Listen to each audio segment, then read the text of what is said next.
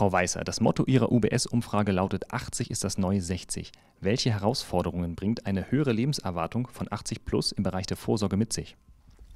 Ja, wir wissen alle, dass die Lebenserwartung der Schweizerinnen und Schweizer stetig ansteigt. Wir haben jetzt mit einer Lebenserwartung von 82,8 Jahren sogar die höchste Lebenserwartung der Welt.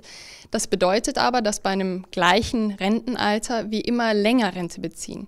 In den 1950er Jahren waren es noch 13 Jahre Rente, die wir im Durchschnitt bezogen haben. Heute beziehen wir über 20 Jahre Rente im Durchschnitt. Und diese muss finanziert werden. Die Frage ist, wie kann man sie finanzieren? Entweder man muss mehr ansparen oder alternativ, wir müssen sagen, wir sind bereit, länger zu arbeiten oder eine niedrigere Rente hinzunehmen. Was ist den Schweizerinnen und Schweizern bei der Vorsorge besonders wichtig? Sicherheit ist den Schweizerinnen und Schweizern bei der Vorsorge sicherlich ein sehr wichtiges Thema. Das heißt aber, dass sie äh, privat zusätzlich sparen müssen, denn die erste und zweite Säule unseres Vorsorgesystems, die schrumpfen. Die erste Säule, weil es im Umlageverfahren finanziert ist und weniger junge nachkommen, um das finanzieren zu können, um bezahlen zu können. In der zweiten Säule erwarten wir sinkende Umwandlungssätze und daher ist die private Vorsorge zunehmend wichtiger. Sie haben es schon angesprochen. Wo liegen denn die finanziellen Risiken bei den Pensionskassen, wenn die Lebenserwartung weiter steigt?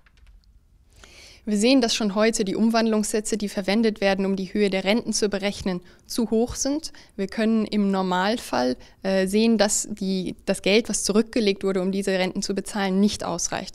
Und das bedeutet, dass die Pensionskassen die Renditen der Erwerbstätigen nutzen müssen, um die Renten der heute Pensionierten zu bezahlen. Und das führt langfristig natürlich zu niedrigeren Renten bei den heute Erwerbstätigen. Ich denke, es sind zwei wesentliche Risiken, die man gerade bei der zweiten Säule, also bei der Pensionskasse hat. Das eine ist die Inflation.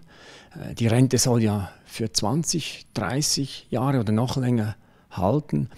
Wenn man aber äh, Inflation hat, und da kann man nicht ausschließen, dass die früher oder später wieder ansteigt, dann ist es ja so, dass sehr viele Pensionskassen keinen automatischen Teuerungsausgleich vorsehen und dann kann die Kaufkraft der Rente über Zeit auch deutlich fallen. Das kann bis zu 40 Prozent Kaufkraftverlust bedeuten, wenn wir über längere Zeit 2 Prozent Inflation hätten.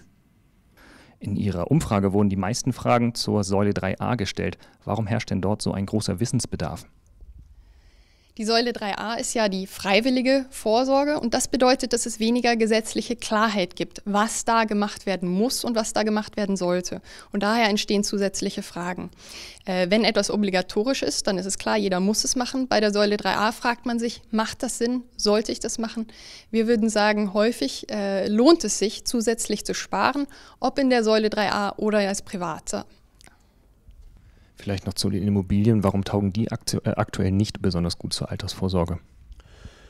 Ja, Immobilien haben heute natürlich die Eigenschaft, dass die Preise sehr stark gestiegen sind und die werden ja auch sehr oft dann fremdfinanziert, also mit Schulden noch finanziert, sodass also ein kleiner Anteil äh, Eigenkapital ist, äh, dass man in dieser Immobilien drin hat.